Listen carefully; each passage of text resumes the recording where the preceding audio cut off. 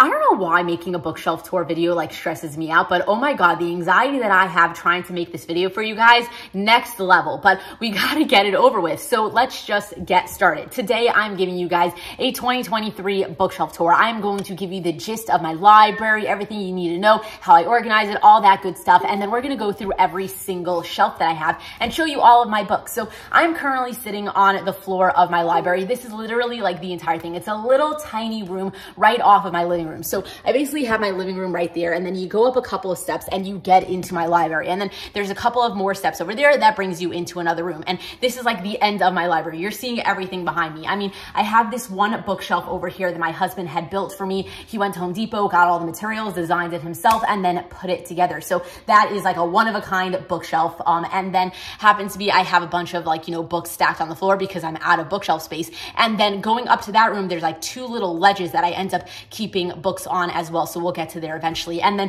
happens to be on this wall is the um, bookshelf that you often see if you follow me on TikTok and Instagram, because that is the background for most of my content when I'm not doing YouTube. So that is more or less the gist of like, you know, my library and how it's laid out. I mean, I do also have this like nice little bean bag that I honestly do not really use very often because anytime that I try sitting in here and reading on this bean bag, I end up getting distracted by like all the books. I just end up staring at my shelves forever and then I can never really get through my book. But it's here because sometimes my husband honestly likes to sit in here. So Anyway, I do also have one in my bedroom. I'll have like a video right here for you guys to see. Nothing really special. Though. I just keep like a handful of special editions. Like I have my ACOTAR special um, editions. Not Well, it's not special editions. It's my hardcover copy of ACOTAR and it has the Juniper Hill, um, you know, uh, Dusk Just Jackets on it. And then I have all of my Sophie Lark books there on one shelf. And then I also have like a bunch of like random Harry Potters. Like I have my hardcover Harry Potters there. And then I also have a couple of like the illustrated special editions. So, you know, that is, I think, every single book that I have more or less in my house. Most of them are here. Only a few of them are in my um, bedroom. And I think that's the gist of it. Oh, and I should also say that the shelf that's like on the wall, um, this was actually handmade by my husband as well. It actually was always like that. Like it was always indented into the space, but it used to only have three um, shelves and I didn't really like how it looked because there was too much space in between all of them. So for my birthday a couple of years ago, I asked him to redo it for me and then he did. So thank you so much Tim for doing that as well. If you did want to see actually a vlog of me doing it, it's probably a little cringy because I made it like right at the beginning of my channel, but technically I did vlog the process of, you know, doing that whole thing. So I'll have a link for that down below in case you're interested. But either way, I think that is the gist of like all of my shelves. And then the way that I organize my library is kind of by vibe. So I do split up my fantasy and my romance. So my fantasy is all behind me. Like this is an entire bookshelf of all of my fantasy books. And then I kind of put it in order of like the vibe that it has. It's like a fantasy romances and then heists and then just like random political intrigue sort of stuff. Like I kind of just have it, like it, it goes with the flow sort of situation. Only really makes sense in my head or if you've like read the book and just like know all of them. And then this entire shelf that I have over here is my romance shelf. And then everything in between is kind of like a jumble of everything that has fallen off of like like either shelf because obviously both of them are filled. So everything that didn't fit on any one of them ended up making it literally in between. So I think, I think that's everything that you have to know. So let's get into every shelf that I have. Cooper decided to join us. Say hello, Cooper. Say hello. All right, we're doing this by hand, so I apologize if I end up being a little bit shaky. But anyway, we've got my Throne of Glass, ACOTAR paperbacks, and then my Crescent City books. So all my Sarah J. Maas stuff. And then we have the Daughter of No World series, which I just recently got. I actually got 33 pages into the first book, and then I just wasn't really feeling it because I'm currently in a bit of a reading slump, and I just wasn't so in the mood. So I ended up putting it down for now, but hopefully I'll get back to it soon. And then still haven't read Wolf Song, and then this is my Jennifer L. Armentrout books. This is my Rhapsodic series. Still have to read the Plated Prisoner series. Kind of DNF'd this series after the first book, but I decided to keep it around anyway. Then I've got the Iron Fey series and then the first book in the spinoff. And then this is my favorite series of all time. If you have not read them yet, I highly recommend reading them because, you know, I absolutely love them. They are literally like beat to shit because of how many times I've um, read them. But anyway, this and this is a spin-off from this original trilogy. Then I've got The Cruel Prince. I've got, you know, The Ballad of Never After and Once Upon a Time. And then I've got The Kiss of Deception series, and then its spinoff, and then this random duology that I have not yet read. And then onto the second shelf, I have a couple more fantasy romances of sorts. Like these two are standalones. This is like companions of sorts, more standalones, a duology. And then right behind here, I have like, you know, The Curse So Dark and Lonely, if you can see it, whatever. I actually had read the first book and then never continued on with the second and third, but I keep them around anyway. I don't really know why.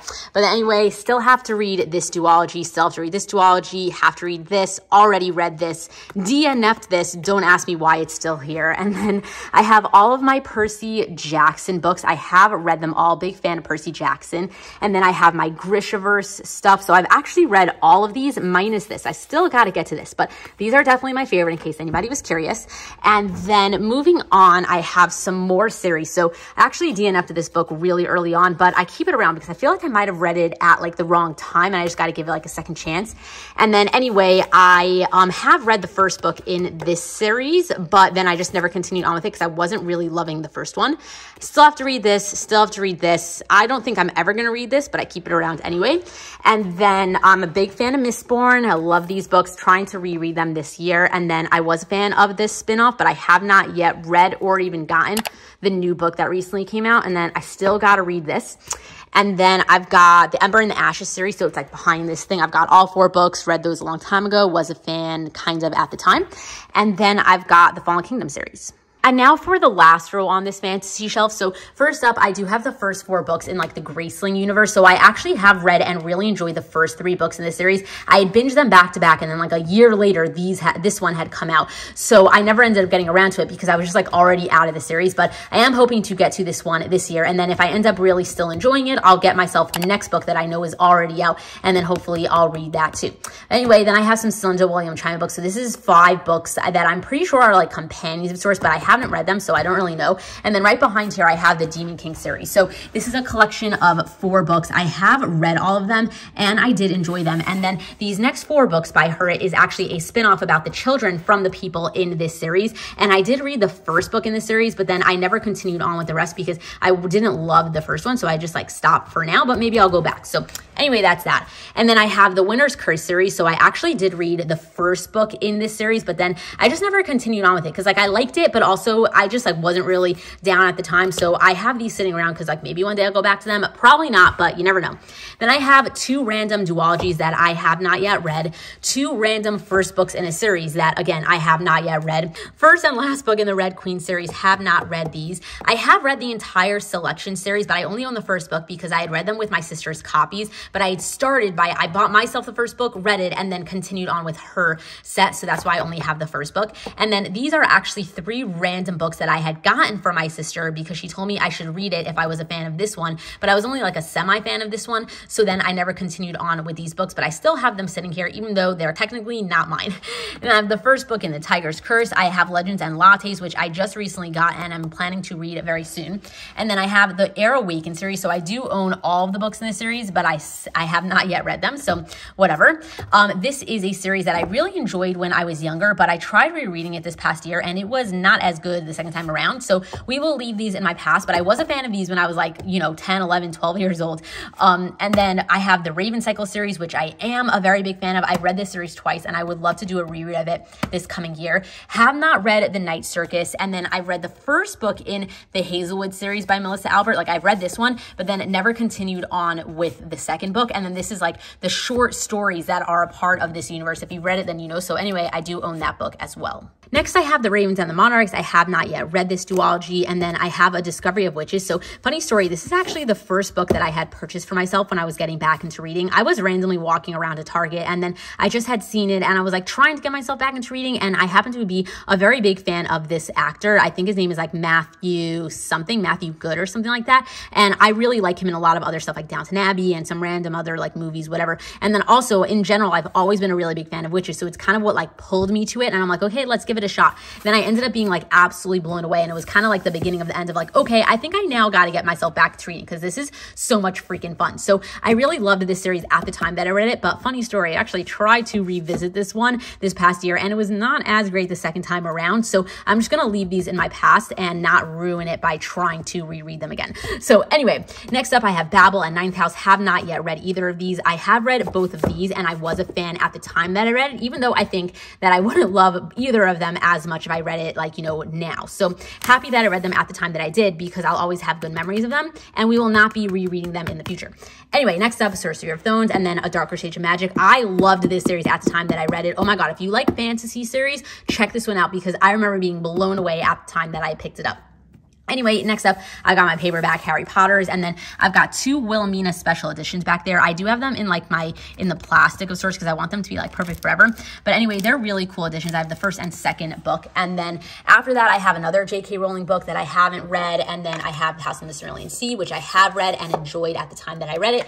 And then this is a middle grade series. It's the first three books in a series that I think is either going to be like six or nine books. I don't really know. But either way, I was a fan of these at the time that I read it. I thought they were really fun. These three are middle grade books, but I haven't read any of them. And then I have read this duology. I was a fan, have not read these three books. I did read this duology. I liked book one, didn't like book two.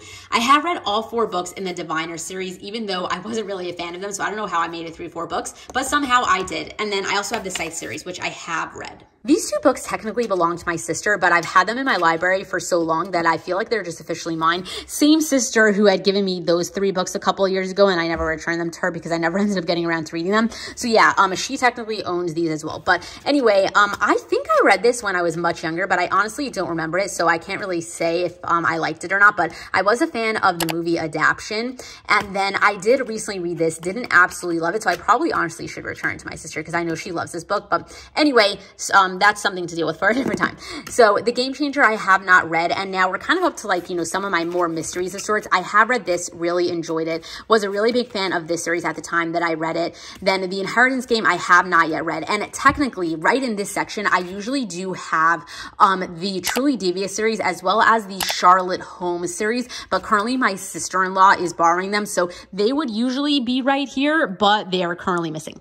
Anyway, next up, I've got the Hunger Games and then the spinoff. I've got the Divergent series, so these are more like dystopians. I have this random novella from the Shadowry series, just don't ask, you know, whatever. I also have this series that I haven't read. I know it's dystopian, but I don't really know much other than that. And then all of these books are my YA books. So I know that all of these are somewhat connected. That's kind of why I keep them in order, but I haven't read any of them yet. Haven't read this, have read this, haven't read, have read, have read, have read, have read, have read, have read, haven't read, haven't read, haven't read, haven't read, haven't read, haven't read, have read, have, have, have read. And then this is the rest of my YA collection. So I do have these four books by Jenn Bennett, and then I have the entire Come Back to Me series. So I have read all of these books. I have not read these three, and then I haven't read these three either. But technically, I do have the Summer I Turned Pretty series by Jenny Han also that usually is right here. But currently, my sister-in-law is borrowing those as well. So they're missing, but I have read those, haven't read these. And then this is the last stack of books that I have sitting on the floor. So first up, I have Fifty Shades of Grey. This is like the special anniversary something edition. I haven't read it. I was just gifted it for free because I was like doing a post for someone. So anyway, it got this for free. It Never read it. I was also gifted these books by the author, but I haven't read any of them yet. I read the first book in this series, never continued on with the second. Read the first, never read the second. Read this, read this, read this, never read this, never read this. And then I was gifted these by the publisher, but I haven't gone around to reading them yet. And so for this little section, whatever you want to call it, up the steps, I have all of my um, Shadow Hunter books. So I do have them in like chronological order because this is the order that I like to read them in in case you want to like screenshot it, whatever. Anyway, those are all of my books by her. And then this is something that I don't really like to show off very much because I just don't know what to do with these books. Like this is a pile of books that I plan to like either get rid of or I just really don't really want them around, but I just haven't unhauled them yet. And then all of these books are more or less books that I have received for free over time. Like a bunch of them are like either ARCs or were just sent to me like from publishers or authors or stuff like that. And I don't really have a place that I want to specifically put them. So I put them here.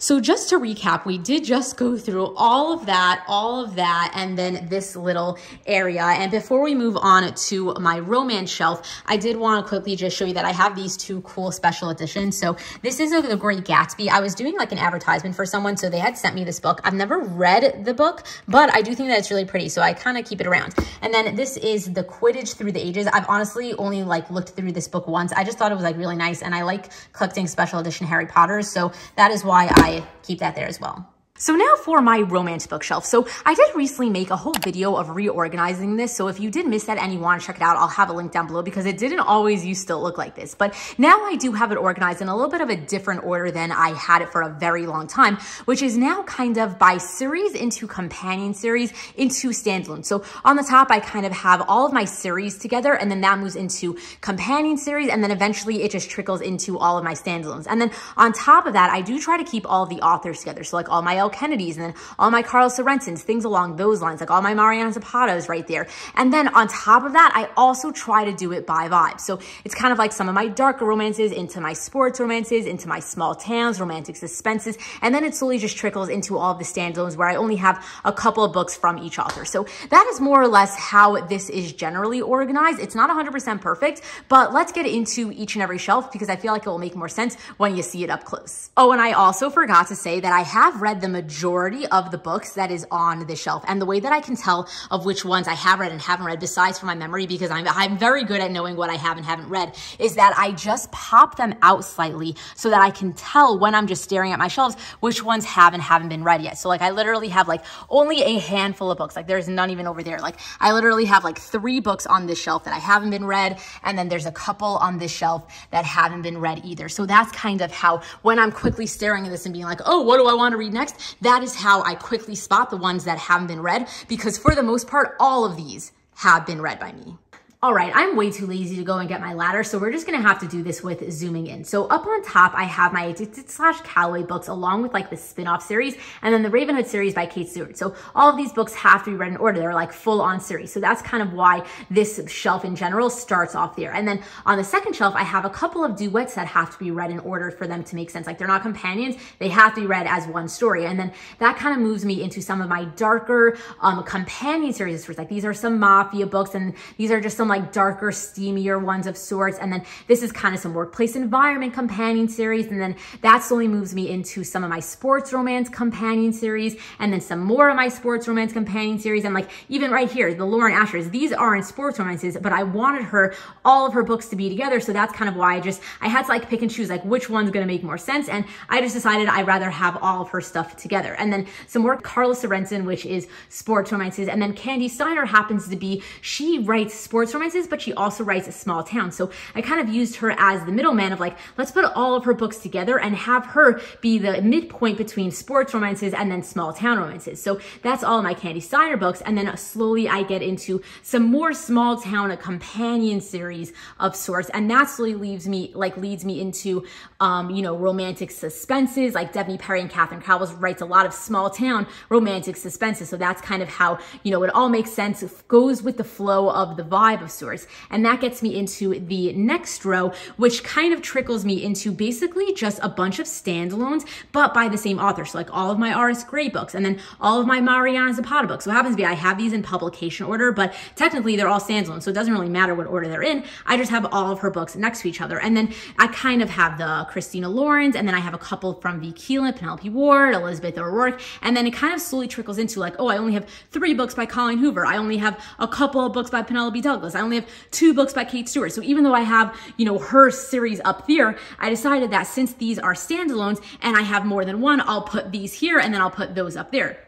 And then it kind of just trickles in that way up until I get to this last shelf where I have still a couple of more books that I have like two from one author, two from one author, and then it slowly just gets into my standalone. So for here specifically, I still keep it by vibe. So this is kind of a couple of like my general rom-coms, like some enemies to lovers, some fake dating, things along those lines. And then that kind of moves me into just some sports romances or college setting of sorts. Like all of these are either like college sports romances or they take place in like like high school, stuff along those lines. And then I kind of move into some more of my taboo of sorts. Like these are like college, but like darker, taboo, teacher, student, things like that. And then I have some nanny romances, some single parent romances, and then some romantic suspenses of sorts. And then right at the end, I have a couple of my darker standalones. So like these are two reverse harems. This is a dark romance and then like, you know, motorcycle romance and then like priest, which is wow, am I happy that's over. The anxiety level still through the roof for some reason. I don't know why this video is like so intimidating for me to film, but I'm just happy that it's over with. So